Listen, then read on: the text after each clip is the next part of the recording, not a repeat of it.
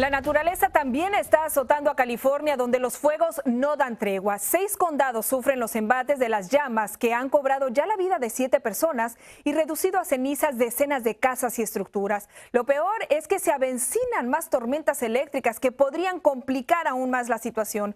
Jorge Miramontes nos tiene todo de estos incendios que han sido calificados como históricos, Jorge. Jessica, ya se contabilizan 28 incendios de grandes magnitudes en todo el estado de California. Poco a poco se está permitiendo regresar a residentes a las zonas afectadas. Aquí, varios de ellos encontrarán sus viviendas reducidas a escombros y cenizas. Desafortunadamente, este mismo panorama se repetirá en diferentes partes del estado dorado. Más de 17 mil bomberos trabajan contra reloj tratando de contener los incendios masivos de California, considerados entre los más grandes en la historia del estado. Al menos se reportan 650 quemazones. Su paso arrasador ya consumió un millón de acres. La devastación es visible desde el espacio. Oh, no. El voraz incendio ya devoró cerca de 900 estructuras y ha causado daños en 230 más.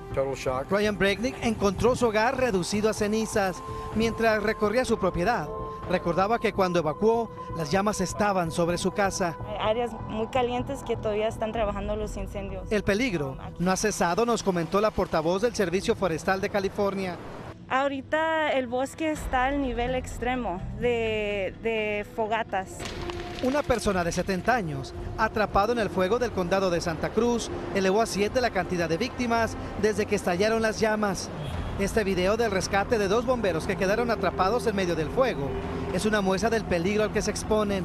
Que teníamos que estar preparados para evacuar porque esa zona, aunque ahorita no está en inmediato peligro, ahorita podemos, este, puede cambiar.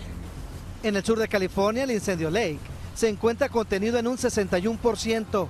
Por eso, unos 400 bomberos fueron despachados al norte, donde el temor crece por los pronósticos del clima indican que más tormentas eléctricas y relámpagos podrían provocar nuevos siniestros.